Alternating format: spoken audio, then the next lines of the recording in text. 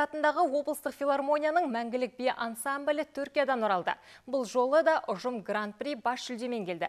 Өнерпаздар халықаралық 17-ші халық би фестиваліне және Ялова қаласындағы мәрмәр теңіздің жағасында өткен 26-ші халықаралық түркі мәдениеті фестиваліне қатысты.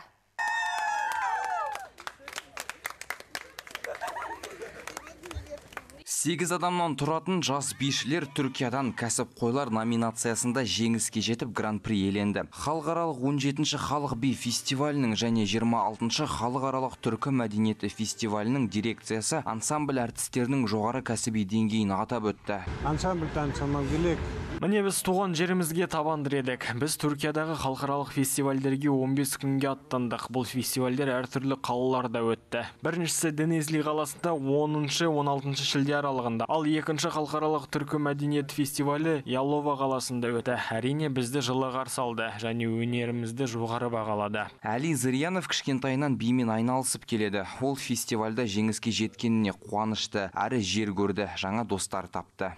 Подготовка была, конечно, и плодотворная. Бір айдан астам уақыт өте жақсы деңгейде дайындалдық. Міне енді жаттығуларымыздың жемісін көріп жатырмыз. Біз бағдарламамызға биімізге әртүрлі би элементтерін қостық. Жалпы сайыста басқа ұжымдармен кездесіп тәжірибе алмастық. Естеріңізге сала кетейік, жас бишілер ұжымы халықаралық деңгейде көптеген марапаттар мен жүлделі орындарға ие. Ұлан Ыдырыс, Олег Касинов, Анатолий Беланок, жаңалықтар қызметі.